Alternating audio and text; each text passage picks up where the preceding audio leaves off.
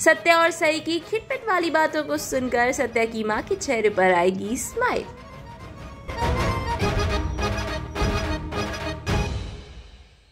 Doctor Joshi ये मस्के की वजह? केस जीत गई ना आप। कूट तो दिया मिसेस चौहान को कोर्ट में। तो फिर यहाँ आकर मसाले क्यों कूट रही है? मैं कोई मस्का नहीं लगा रही मुझे मस्का लगाने की ज़रूरत ही नहीं। और कोर्ट में केस में इसलिए जीती क्योंकि मैंने कुछ गलत किया ही नहीं था। मुझ पर झूठा इल्ज़ाम लगाया गया था। अच्छा तो फिर ये क्या है? नया प्रोफेशन शुरू किया? क्या अपने स्टूपिड जोक्स बंद नहीं कर सकते। ज़रूर कर सकता हूँ लेकिन पहले आप अपना यहाँ आने का नॉट सो स्टूपिड रीजन बताएँगी।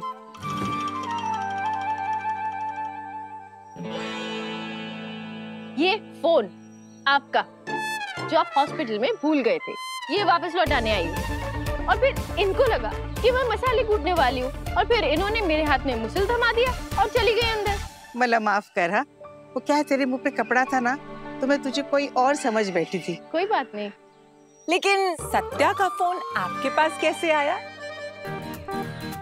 अरे वो तो ये आइसक्रीम खाने नहीं आए थे ना? तो इनको देखने में इनके कैबिन में गई। और वहाँ पर ये नहीं थे तो मैंने इन्हें कॉल किया।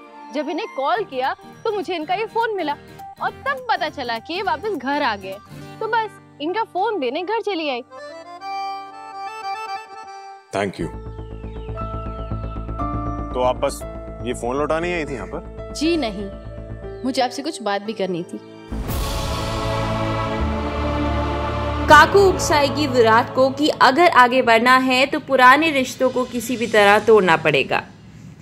काको, मैं जानता हूँ आपने मुझे यहाँ क्यों बुलाया कर लूँगा मैं बात बाकी के साथ हमारा रिश्ता खत्म करने की।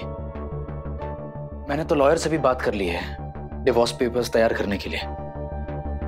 लेकिन काकू, ये एक रिश्ता है, कोई पतंग की डोर नहीं है जिसे जिसे तोड़ देना इतना आसान है।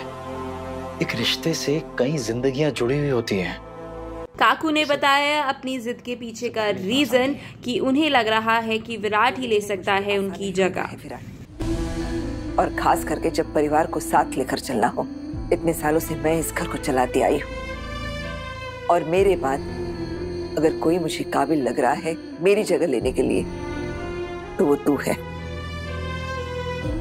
तेरे काका साहब। स्वर्गीय नागेश चौहान के बाद ये ज़िम्मेदारी मुझ पर आई और मेरे बाद तेरे कंधों पर आएगी। बार बार काकू का फोकस सिर्फ़ होगा इसी पर कि उसे पाखी के साथ जुड़ी डोर को तोड़ना पड़ेगा।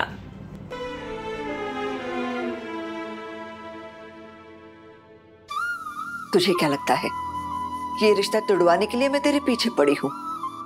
नहीं रे मैं तेरे पीछे इसलिए पड़ी हूँ ताकि जिस परिवार को तेरे काका साहब और मैंने संजो कर रखा, आगे चलकर तू भी उसे संभाल सके।